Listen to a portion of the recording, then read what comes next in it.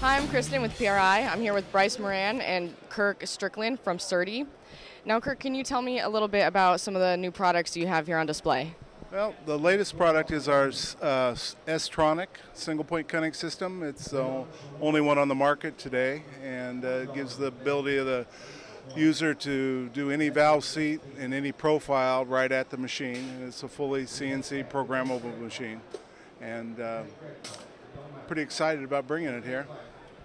Do you have any other machines you can tell us about? We also have our CNC uh, 6.0 which is the same machine without single point cutting. It has a multi-angle blade cutting on the same architecture, which can be upgraded to the single point cutting at any time. And uh, why is PRI a good venue to introduce new products? Well, it's where our customer base is. This is where everybody comes to see the latest technology, and it's the best place to come to see all your users in one place. And now, Brice, can you tell us a little bit about the foot tra- traffic you've had here. How has the international traffic been? Uh, we saw a lot of people here, uh, a lot of international, Mexico, South America, even Europe.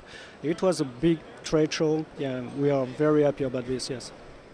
And can you comment on the amount and the quality of the buyers here?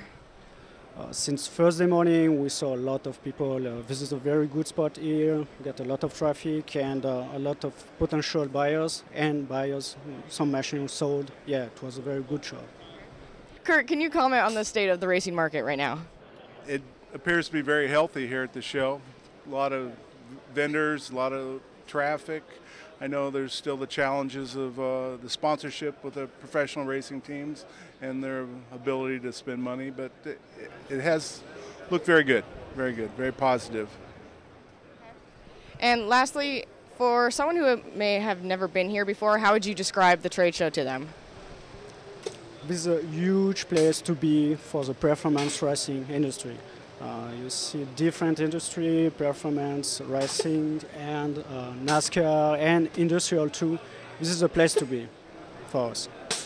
Same question goes to you. How would you describe the show for someone who's never been here? Well, it looks like to be the candy store of racing. Anything they want, anything they want to see, it's all here. Perfect. Thank you so much for your time, and I hope you enjoy the rest of the show. All right, thank you. This is Kristen with PRI.